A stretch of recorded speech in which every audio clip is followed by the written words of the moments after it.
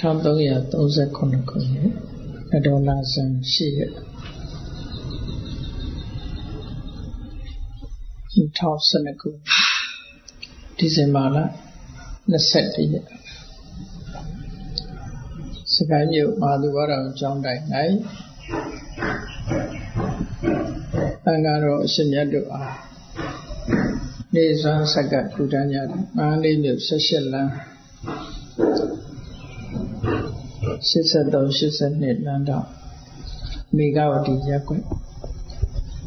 ကိုရနိုင်အောင်မဟိမန်ဆိုတာဘုံမြတ်ဘုံမိသားစုတို့ဆွမ်းအလှတော်မင်္ဂလာအနုမောဒနာတရား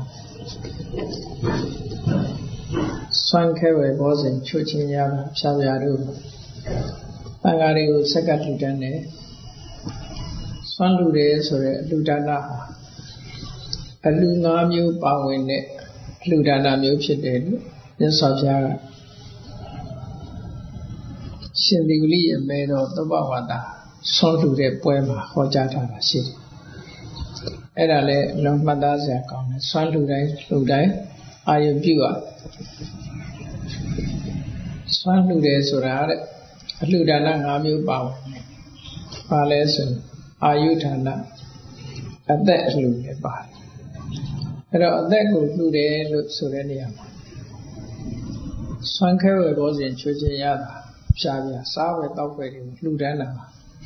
ဘာဖြစ်လို့အသက်ကိုလှူရရောက်တယ်လဲလို့ဆိုရင်လောကလူတွေအသက်ရှင်နေတာဟာစားစရာပေါ်မှာမိပြုပြီးအသက်ရှင်တဝိတ္တအာရထိတိကာ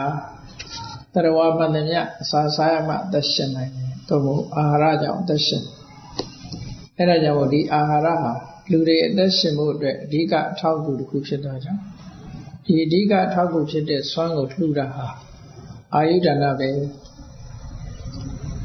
စီဝိဒဒါနပဲလို့ဒီလိုပြောလို့ရတယ်အာယုဒါနနဲ့စီဝိဒဒါနနဲ့တူတူပဲအာယုဆိုတာလည်းအသက်ပဲစီဝိဒဆိုတာလည်းအသက်ပဲ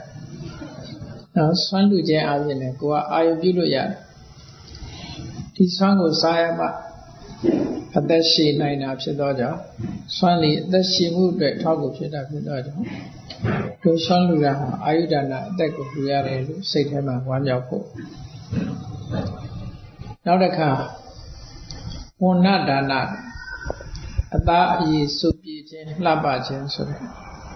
အလှကလည်းပဲဆွမ်းလှခြင်းဖြင့်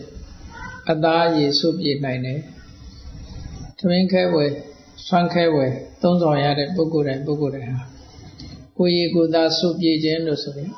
အကျိုးကိုရကြတာဖြစ်တယ်။ဒါကြောင့်မို့လို့ဆွမ်းလှတယ်ဆိုတာဝဏ္ဏဒါနအဆင်းကိုလှူတာပဲလို့စိတ်ထဲကရှင်းမှန်းထားဖို့နောက်တစ်ခုကတော့ဗလဒါနစွမ်းအလှကခွန်အားကိုပေးလူရရောက်တယ်ဟုတ်တယ်ဘလောက်အားကောင်းတဲ့ပုဂ္ဂိုလ်ပဲဖြစ်ဖြစ် အစာမစားရလို့ရှိရင်အားပြတ်တယ်ဒါကြောင့်မို့လို့အားဆက်မိသွားအစာအာဟာရကိုပေးလူကြအစာအာဟာရဟာအင်အားကိုဖြစ်ပေါ်စေတတ်တာဖြစ်တော့ကြောင့်အစာအလှဒီခွန်အားအလှပဲဖြစ်တယ်လို့ဗလဒါနလည်းရနောက်တစ်ခုကတော့ဒုက္ခဒါနအစာမစားရလို့ရှိရင်လူတွေက ဆာလောင်မွတ်သိမ့်နေမယ်ဆိုရင်စိတ်ချမ်းသာမှုရမှာမဟုတ်ဘူးကိုချမ်းသာမှုရမှာမဟုတ်ဘူးအစာစားရတဲ့အခါမှာစိတ်ချမ်းသာမှုကိုချမ်းသာမှုတွေကိုရတာဖြစ်တော့ကြောင့်ဒုက္ခဒါနချမ်းသာကိုလူတာလည်းရောက်တယ်လို့ဒီလိုပြောတာနောက်တစ်ခုကတော့ပฏิဘာနာဒါနအကြံကောင်းဉာဏ်ကောင်းညီဒီကိစ္စမှာဖြစ်စေအကြံကောင်းဉာဏ်ကောင်းဆိုတာတွေကရှိအဲ့ဒီအကြံကောင်းဉာဏ်ကောင်းတွေကိုရရှိဖို့ဆိုတာလေ အစာကောင်းစားရတဲ့ပုဂ္ဂိုလ်တွေမှာရရှိတာဖြစ်တော့ကြောင့်အစာအာဟာရတ္တပြည့်ပြည့်ဝဝစားရတဲ့ပုဂ္ဂိုလ်တွေရရှိနိုင်တာဖြစ်တော့ကြောင့်ဒီအစာအာဟာရအလှဟာအကြံကောင်းဉာဏ်ကောင်းဆိုတဲ့ပฏิပါဏဉာဏ်ပညာကိုလည်းလှူရရောက်တယ်လို့မြတ်စွာဘုရားကြောင်းကျိုးဆက်ပြီးတော့ဟောထားတယ်နော်ကြောင်းကျိုးဆက်ပြီးတော့ဟောထားတာဆိုကိုကိုယ်တိုင်ကလည်းအာရုံပြုနိုင်ရဘုရားဟောထားတာကိုအာရုံပြုပြီးမှတ်ထားပြီး ဟောတန်ဃာတွေဆုံးလို့တယ်ဆိုတာတို့အာယုဒါနအသက်ကိုလှူတာပဲဝဏ္ဏဒါနအဆင့်ကိုလှူတာပဲဗလဒါနခွန်အားကိုလှူတာပဲဒုက္ခဒါနချမ်းသာကိုလှူတာပဲပฏิဘာနဒါနဉာဏ်ပညာအကြံကောင်းဉာဏ်ကောင်းကိုလှူတာပဲလို့စိတ်ထဲမှာအလှတစ်ခုတည်းကတော့အလှ၅မျိုးပေါ့5 in 1လို့ခေါ်ခုခေတ်ဆိုရင်၅မျိုးပါတဲ့အလှတစ်ခုပေါ့နော် အလှ၅မျိုး၅မျိုးပေါင်းဆက်ပါဝင်နေတဲ့အလှတစ်ခုအဲ့ဒီအလှတစ်ခုကိုဒီနေ့လှူရတယ်လို့မြတ်စွာဘုရားဟောတဲ့အတိုင်းမှတ်သားနိုင်ယူပြီးတော့စိတ်ထဲမှာကြည်နူးအောင်နှလုံးသွင်းဆင်ញင်ကြဘယ်ဒါနကုသိုလ်ဆိုတာဘယ်ဒါနမျိုးပဲဖြစ်ဖြစ်လှူတဲ့အလှူဟာဒီအကျိုးပေးတဲ့အခါကျတော့ နီးစပ်တဲ့အကျိုးကိုပဲပေးတယ်အများတာဒါမို့လို့တိုက်ရိုက်ကြီးမဟုတ်တော့မှစနေတိတရိတံပါကံဆိုရူပဝဆရဆိုတဲ့ဒီသမထကျင့်စဉ်ကိုကျင့်တဲ့ပုဂ္ဂိုလ်တွေကြတော့တကယ်ကိုလုံးဝတူညီတဲ့အကျိုးကိုပေးတယ်သို့တော့အလားတူတဲ့အကျိုးကိုကာမဝဆရကုသိုလ်ကံတွေကလည်းပေးနိုင်တယ်အဲ့ဒါကိုတော့ဥပမာပဲလို့ပေးတယ်ဆို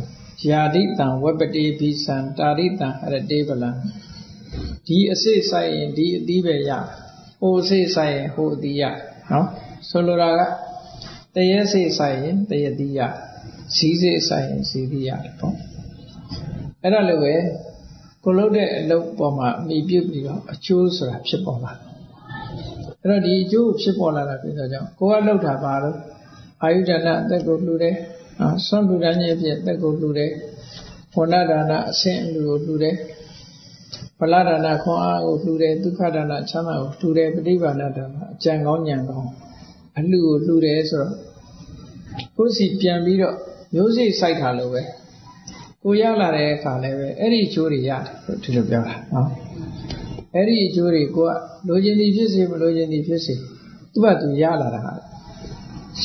တဲစိတ်ဆိုင်ရင်တဲပင်ပေါက်ရင်တဲသီးသီးမှာပဲကိုကသီးခိုင်းเสียမှမလိုတာအဲ့ဒါကိုကသီးခိုင်းเสียမလိုသလိုပဲ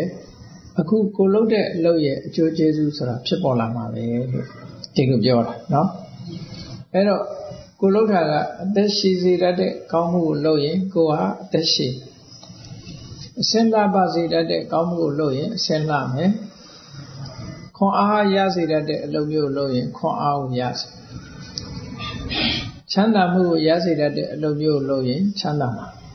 အသိပညာဖွံ့ဖြိုးပြီးကြံကောင်းညံကောင်းရစေတတ်တဲ့အလုပ်ကိုလုပ်မယ်ဆိုလို့ရှိရင်လည်းကြံကောင်းညံကောင်းရမှာပဲလို့ဒါအကြောင်းနဲ့အကျိုး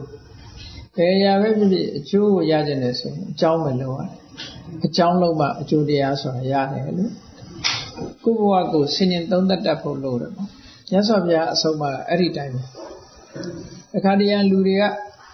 ဟိုအချိန်မစောင့်နိုင်တာမျိုးလည်းဖြစ်တတ်တယ်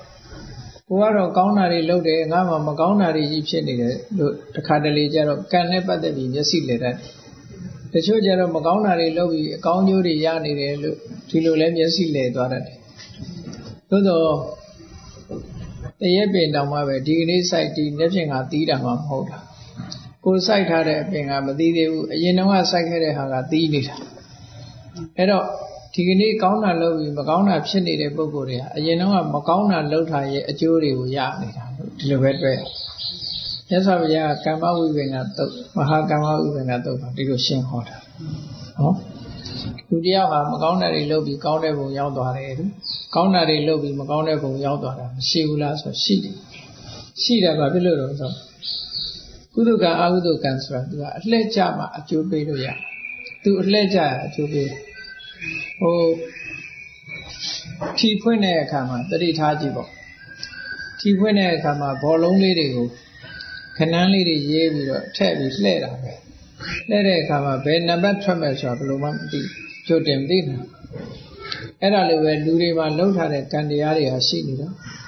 ဘယ်ကံကအရင်အကျိုးပေးမယ်ဆိုတာသိသိလို့မရဘူးသို့တော့ဒီကံအကျိုးပေးရင်တော့အကောင်းမှဖြစ်မှာ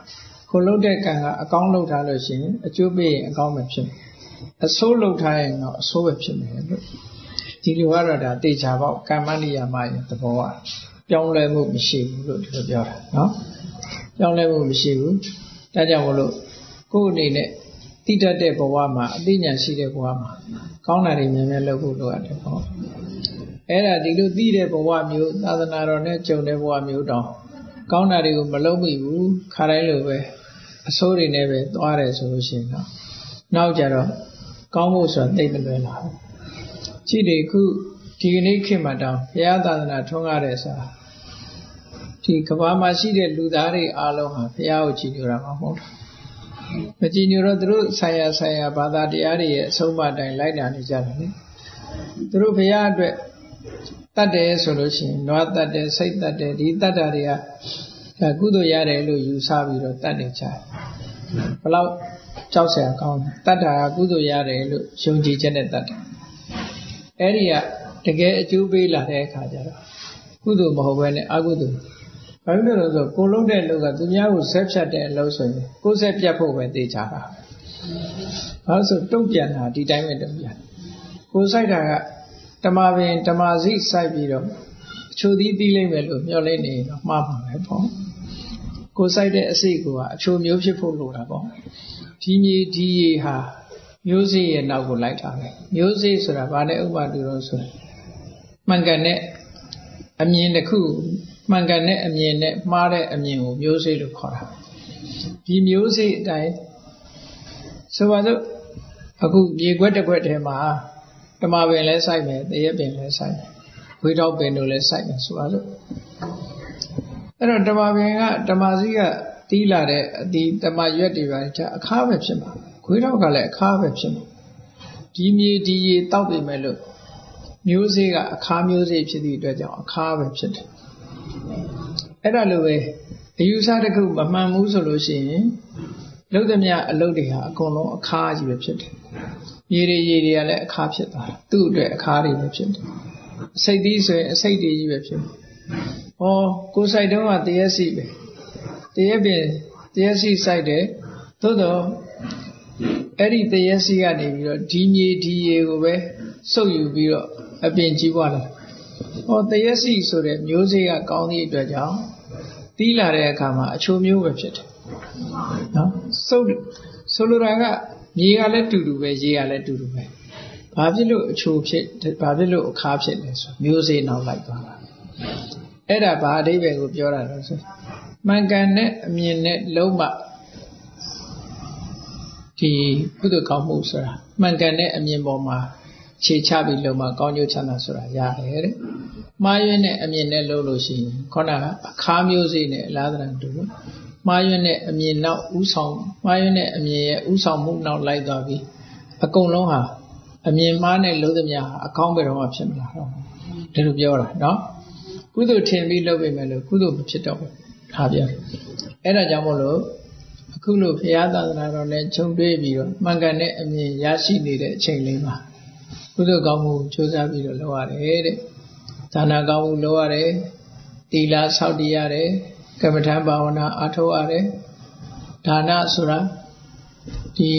ဝေကုံကြီးကြများမှအလှဆိုတာဖြစ်တာမဟုတ်ဘူးကိုစားတဲ့ထဲကတလုံးတဆုပ်လှူတာလည်းအလှပဲ ဒါနကောင်းမှုဆိုတာလွယ်လွယ်နဲ့လည်းဖြစ်နိုင်တယ်နော်ကိုတတ်နိုင်တတ်နိုင်တယ်လို့လှူတာတန်းတာဒါနဖြစ်တာပဲနော်မြတ်စွာဘုရားဝိသကုတ္တတုံးမှာဆိုရင်အလှူဒါနရဲ့အကျိုးလောက်တယောက်ဟောထားတော့ဆိုရင်ကိုစားလို့စားခြင်းစားကြလေးတွေပြစ်တဲ့အခါမှာတောင်တရားလေးတွေစားကြပါစေလို့စိတ်ထဲမှာဒီလိုနှလုံးသွင်းပြီးတော့ပြရင်ကုသိုလ်ရသေးတယ်လို့ဒီလိုပြောတာနော် အဲ့တော့ဒါနရဲ့အကျိုးဟာအောက်ထစ်ဆုံးအဲ့လောက်ကစပြီးတော့အကျိုးကျေးဇူးဖြစ်နိုင်တယ်လို့ပြောတာကြီးတဲ့တမင်လှူတာကြတော့မပြောနဲ့တော့နော်အဲ့ဒါဒါနဒါနဟာဘာလုပ်ပေးတာလဲဆိုဖြစ်လျက်ဘဝမှာအစဉ်ပြေစေတယ်သာဝနေမပူရဘူးဒါနရှိတဲ့ပုဂ္ဂိုလ်ရှိတယ်ဒါနရှိတဲ့ပုဂ္ဂိုလ်ကမွေးလာကြတဲ့ကသာဝနေပြည့်စုံတဲ့အိမ်ကိုလူဖြစ်လာတာလူဖြစ်လာတော့သူမပူရဘူးပေါ့ အဲ့လိုဆိုလိုတာနော်ဌာနရှိလာတဲ့ပုဂ္ဂိုလ်ဟာစင်စင်ရဲနေရဘူးစားစရာဝတ်စရာနေစရာထိုင်စရာအပြည့်စုံစင်ပြေရတယ်ဒါဒါနရဲ့အကျိုးပဲအဲ့တော့ဒီစုံတယောက်ကနေဒါနဆိုတော့လုံးစရာမလိုဘူးတန်တရားရှိတယ်လို့ခေါ်ရင်လည်းမယုံနဲ့နော်တန်တရားရှိခြင်းအကြောင်းကတခြားအကြောင်းသာဖြစ်တယ်ဒါနနဲ့မဆိုင်ဘူးဒါနဟာကုသိုလ်တစ်မျိုးပဲကိုယ့်ဘဝအစဉ်ပြေစေတဲ့ဟာပဲနောက်တစ်ခါသီလဆောက်တည် သီလဆောက်တည်ခြင်းဖြင့်ဘာတွေရတော့ကောင်းတဲ့ဘုံမှာဖြစ်တယ်လူဖြစ်တယ်နတ်ဖြစ်တယ်ဟောလူဖြစ်တော့အသက်ရှည်တယ်အနာတိပတ္တလုံရင်အသက်ရှည်တယ်ချမ်းသာတယ်ဘလောက်ကောင်းလဲအရိဏဒါနလုံရင်စီဝဥစ္စာမပြတ်ဘူးကာဝေတုမိစ္ဆာဆိုတော့လုံရင်လူကြီးလူငယ်ပေါ်တယ်မုဒ္ဒဝါရလုံရင်အဆုဆွဲမခံရဘူး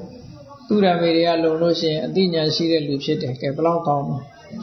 တော့ဒါနကစီဝဥစ္စာကိုဖြစ်ပွားစေပြီးတော့သီလက ခန္ဓာကိုယ်ရဲ့အနေအထားကိုကြီးပွားတိုးတက်စေတယ်အဲ့ဒါတွေကိုအကြောင်းခံပြီးတော့မှဘာဝနာဆိုတဲ့အလုပ်တစ်ခုလုပ်လို့ရတယ်ပေါ့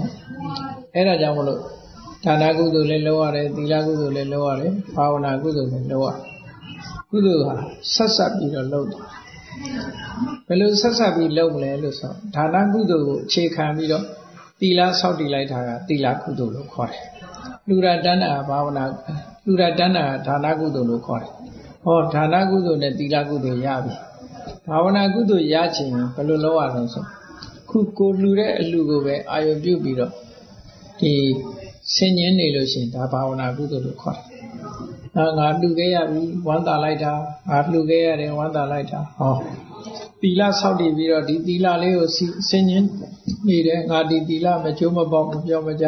ထိမ့်သိမ်းဆောက်ရှောက်တယ်လို့ဆင်ញင်းနေလို့ရှိရင်လည်းဘာဝနာဖြစ်တယ်ပေါ့။ဒါကြောင့် ဒါနကိုအခြေခံပြီးတော့သီလလည်းဖြစ်တယ်ဘာဝနာလည်းဖြစ်တယ်လို့အ ਨੇ ဆုံးကိုယ်သီလကိုပေါ့ကိုဒါနကိုပြန်လေးဆင်ញင်သုံးသပ်ခြင်းဖြင့်ဘာဝနာကုသိုလ်ရနိုင်တယ်လို့အဲဒီကနေပြီးတော့သမထဘာဝနာကနေဝိပဿနာဘာဝနာထိစဉ်ဆက်မပြတ်အားထုတ်သွားလို့ရှိရင်ကိုအကယ်၍ဆန္ဒရှိလာလို့တန်မြာဝကလွတ်ချင်ပြီဆိုရင်လမ်းစာရောက်သွားနိုင်တယ်လို့ဒီလိုပြောတာเนาะဒါကြောင့်မို့လို့ ဒီကနေ့လူရတန်းရတဲ့ဒါနကုသိုလ်ဟာတန်ဃာတော်အရှင်မြတ်တွေရဲ့အကျိုးတန်ဃာတွေချင်းချင်ကြိုးကိုအထောက်ကြတဲ့သီလသမာဓိပညာကိုပူဇော်သောအဖြစ်တို့တွေအာယုဒါနဝဏဒါနဒုက္ခဗလာဒါနဒုက္ခဒါနပฏิပန္နာဒါနဆိုတဲ့အလှ၅မျိုးကိုဒီကနေ့လှူလိုက်ရပြီလို့စိတ်ထဲမှာဝမ်းမြောက်ဝမ်းသာဖြစ်ပြီးတော့ကုသိုလ်တရားပွားများအားထုတ်နိုင်ကြပါစေ